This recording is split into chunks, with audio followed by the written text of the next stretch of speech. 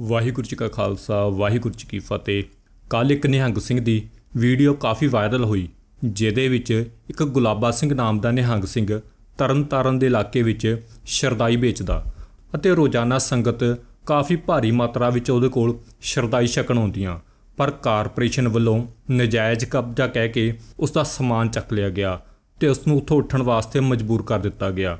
ਜਦੋਂ ਇਹ ਖਬਰ ਸੋਸ਼ਲ ਮੀਡੀਆ ਤੇ ਵਾਇਰਲ ਹੋਈ ਤਾਂ ਸਾਰਿਆਂ ਵੱਲੋਂ ਸਖਤ ਵਿਰੋਧ ਕੀਤਾ ਗਿਆ। ਸਾਰਿਆਂ ਵੱਲੋਂ ਇਸ ਗੱਲ ਦੀ ਸਖਤ ਨਿੰਦਾ ਕੀਤੀ ਗਈ ਕਿ ਜਦ ਤਮਾਕੂ ਬੀੜੀ ਤੇ ਹੋਰ ਨਸ਼ੇ ਦੇ ਖੋਕੇ ਸ਼ਰੇਆਮ ਵਿਕਦੇ ਨੇ, ਉਹਨਾਂ ਨੂੰ ਉਠਾਇਆ ਨਹੀਂ ਜਾਂਦਾ।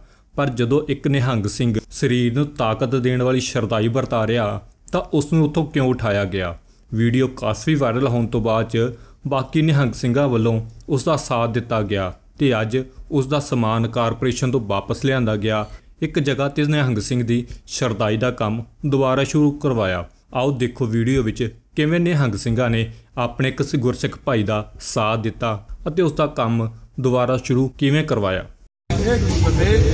ਕੱਲ ਸਾਨੂੰ ਪਤਾ ਲੱਗਾ ਸੀਗਾ ਕਿ ਭਾਈ ਗੁਲਾਬਾ ਸਿੰਘ ਜੀ ਜਿਹੜੇ ਕਿ ਆਪਣੀ ਕਿਰਤ ਕਰਦੇ ਨੇ, ਕੰਪਨੀ ਬਾਗ ਦੇ ਕੋਲ ਸ਼ਰਦਾਈ ਦਾ ਪਹਿਰਾ ਆਪਣਾ ਚਲਾਉਂਦੇ ਸੀਗੇ। ਕੱਲ ਪ੍ਰਸ਼ਾਸਨ ਦੇ ਵੱਲੋਂ ਧੱਕੇ ਜੋਰੀ ਇਹਨਾਂ ਸਮਾਨ ਚੱਕ ਕੇ ਲਿਜਾਇਆ ਗਿਆ ਸੀਗਾ, ਧੱਕਾ ਕਰਦੇ ਹੋਏ ਇਹਨਾਂ ਦਾ ਉਹ ਕੰਮ ਬੰਦ ਕਰ ਸੀ। ਸਾਨੂੰ ਪਤਾ ਲੱਗਾ, ਅਸੀਂ ਆਪਣਾ ਫਰਜ਼ ਸਮਝਦੇ ਹੋਇਆ ਸੇਵਾਦਾਰ ਹੋਣ ਦੇ ਨਾਤੇ ਸਿੰਘ ਕੋਲ ਪਹੁੰਚੇ ਆ ਕੱਲ ਹੀ ਜਾਣਾ ਵੀਰ ਨਾਲ ਅਸੀਂ ਕੰਟੈਕਟ ਕਰ ਲਿਆ ਸੀਗਾ ਤੇ ਪ੍ਰਸ਼ਾਸਨ ਦੇ ਕੋਲੋਂ ਇਹਨਾਂ ਵੀਰ ਜਿਹੜਾ ਬੰਦਾ ਸਮਾਨ, ਉਹ ਵੀ ਲਿਆਦਾ ਗਿਆ ਵਾ। ਤੇ ਭਵਿੱਖ ਦੇ ਵਿੱਚ ਇਹ ਆਪਣੀ ਸਿੰਘ ਕਿਰਤ ਕਰੂਗਾ, ਜਿਸ ਤਰ੍ਹਾਂ ਪਹਿਲਾਂ ਕਰਦਾ ਸੀ, ਉਸੇ ਤਰ੍ਹਾਂ ਕੰਪਨੀ ਬਾਗ ਦੇ ਕੋਲ ਹੀ ਠੰਡੀ ਖੂਹ ਦੇ ਸਾਹਮਣੇ ਜਿਹੜਾ ਗੇਟ ਆ, ਉੱਥੇ ਖੱਬੇ ਹੱਥ ਅੰਦਰ ਵੜਦਿਆਂ ਗੇਰਕਾ ਦਾ ਬੂਤ ਆ ਇਸ ਵੀਰ ਦਾ।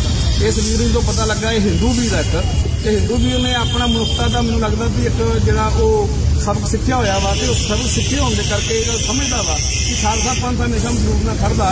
ਖਾਲਸਾ ਪੰਥ ਨੇ ਹਮੇਸ਼ਾ ਹੀ ਮਜ਼ਲੂਮ ਰੱਖਿਆ ਕੀਤੀ ਹੈ ਤੇ ਸਾਡਾ ਵੀ ਫਰਜ਼ ਬਣਦਾ ਕਿ ਸਮਾਂ ਆਉਣ ਤੇ ਜੇ ਸਾਨੂੰ ਲੋੜ ਪੈਂਦੀ ਆਪਣੇ ਸਿੱਖ ਭੈਣ ਭਰਾਵਾਂ ਨਾਲ ਖਲੋਣ ਦੀ, ਅਸੀਂ ਖਲੋਈਏ। ਸੋ ਇਸ ਵੀਰ ਨੇ ਆਪਣਾ ਉਸ ਚੀਜ਼ ਦਾ ਉਦਾਹਰਨ ਦਿੰਦਿਆਂ ਹੋਇਆਂ ਵੇਰਕਾ ਪੂਰ ਦੇ ਸਾਹਮਣੇ ਜਗ੍ਹਾ ਦਿੱਤੀ ਹੈ ਸਿੰਘ ਨੂੰ। ਇੱਥੇ ਸਿੰਘ ਆਪਣਾ ਕਾਰੋਬਾਰ ਜਿਹੜਾ ਉਹ ਸੂਕਾਲ ਤੋਂ ਸ਼ੁਰੂ ਕਰੂਗਾ। ਸੋ ਕੱਲ 8 ਵਜੇ ਤੋਂ ਫਿਰ ਦੁਬਾਰਾ ਸਿੰਘ ਨੇ ਆਪਣਾ ਕਾਰਜ ਸ਼ੁਰੂ ਕਰ ਦੇਣਾ।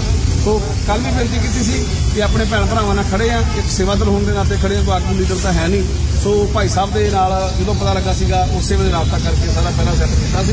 ਹੁਣ ਤੇ ਅੱਗੇ ਵੀ ਇੱਕ ਇੱਕ ਪਰੇਸ਼ਾਨੀ ਆਉਂਦੀ ਹੈ ਸਿੰਘ ਨੂੰ, ਤੇ ਸਿੰਘ ਨਾਲ ਖੜ ਕੇ ਜਿਹੜਾ ਵੀ ਕੋਈ ਲੋੜ ਹੋਊਗੀ ਕਰਾਂਗੇ। ਹੋਰ ਵੀ ਕੋਈ ਸਿੰਘ ਆਪਣੀ ਕਿਰਤ ਕਰਦਾ ਕਿਤੇ, ਕੋਈ ਉਹਨੂੰ ਮੁਸ਼ਕਲ ਆਉਂਦੀ ਆ, ਤੇ ਜਿੰਨੇ ਵੀ ਜੋਗੇ ਆ, ਜ਼ਰੂਰ ਹਾਜ਼ਰ ਹੋਵਾਂਗੇ। ਤਾਂ ਧੰਨਵਾਦ ਸੰਗਤਾਂ ਦਾ ਵੀ, ਜਿਹੜਾ ਵੀਰ ਦਾ ਮੀਡੀਆ ਦਾ ਵੀ, ਖਾਸ ਕਰਕੇ ਵੀਰਾਂ ਦਾ ਧੰਨਵਾਦ, ਜਿਨ੍ਹਾਂ ਨੇ ਇੱਥੇ ਆ ਕੇ ਇਹ ਸਾਰੀ ਗੱਲ ਨੂੰ ਸੰਗਤ ਤੱਕ ਪਹੁੰਚਾਇਆ। ਭਾਈ ਸਾਹਿਬ ਦੇ ਨਾਲ ਚੜ੍ਹਦੀ ਕਲਾ ਨਾਲ ਸਾਰਾ ਪੰਧ ਕਰਿਆ ਕਿਉਂਕਿ ਕਿਰਤ ਕਰ ਰਹੇ ਨੇ ਆਪਣੀ, ਕੋਈ ਮਾੜਾ ਕੰਮ ਤਾਂ ਕਰ ਨਹੀਂ ਰਹੇ।